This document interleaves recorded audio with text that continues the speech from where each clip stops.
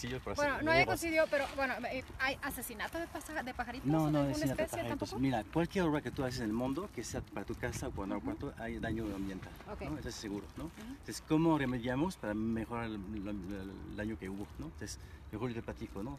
Mantener este sitio, recuperarlo, manejarlo que sea mejor para más especies y tener más, más sitio alrededor que también que permite más, más conservación de especies, ¿no?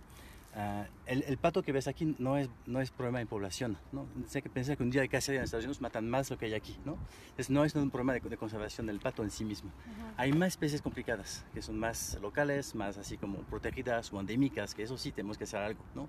Que son especies que, son- que viven aquí, en los canales de aquí atrás, por ejemplo, o en las planicies, de tierra que ves aquí, que no tienen vegetación, ¿no? Son, es- son lugares así como parece hostil para mucha gente, pero son hábitat para otra especie, ¿no? Y eso sí hay que trabajarlas, ¿no? Entonces ahorita el plan con, con agua es justamente trabajar en la boca río para mantener esas especies, ¿no? Es, no es nada más decir, ya matamos todo allá y se, ¿no? Ecocidio.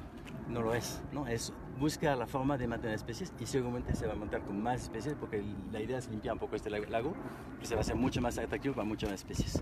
Entonces ahorita es, hay mucha más información tristemente y el Nabo- Nabocayo es un laguito en muchos en la Ciudad de México y alrededor, ¿no?